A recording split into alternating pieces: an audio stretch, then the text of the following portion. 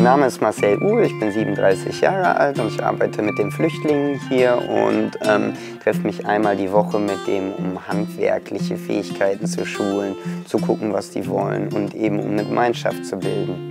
Viele von denen haben noch nie in ihrem Leben gebohrt, noch nie geschraubt. Da sage ich, ja, wir können alles bauen. So. Ihr müsst euch nur was überlegen, was ihr auch wirklich braucht. Und das ist eben genau das, was ich mit denen auch erreichen will. Nicht nur die Wertschätzung den Dingen gegenüber, sondern auch die Vorstellungskraft, dass man die Sachen einfach machen kann. Als ich dann sagte, ja, wenn er ein Tor braucht, dann bauen wir ein Tor.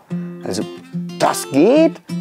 Ich sage, ja, selbstverständlich geht das. Boah, cool. Und dann kommt die Fantasie langsam in Gang. Dann kriegt man plötzlich ein Gefühl davor, ah, da steckt auch noch viel mehr in den Jungs drin. Was die aber nicht sagen, weil die sich das Projekt eigentlich nicht zutrauen. Aber wenn du so zwei, drei kleinere Projekte wahrgemacht hast, dann sind die natürlich auch eher bereit, so zu spinnen im positiven Sinn. Jeder hat irgendein Interessensgebiet und manchmal muss das freigeschüttet werden. Sagen, pass mal auf, Junge, ich garantiere dir, du kannst alles lernen. Und wenn du dich dafür interessierst und vorher entscheidest, wofür du dich interessierst, dann sollst du mal sehen, wie schnell du lernst.